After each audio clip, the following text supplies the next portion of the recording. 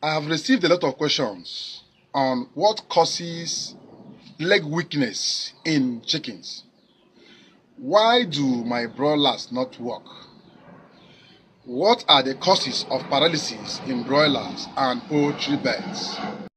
There are many causes of leg weakness or paralysis in broilers and other chickens like nutritional deficiencies, lack of vitamin B1, B2 and calcium, viral infections like Marek disease, bacterial infections like Botulism, physical injuries or trauma, toxins like mycotoxins in feed, skeletal disorders like rickets, neurological conditions or genetic disorders.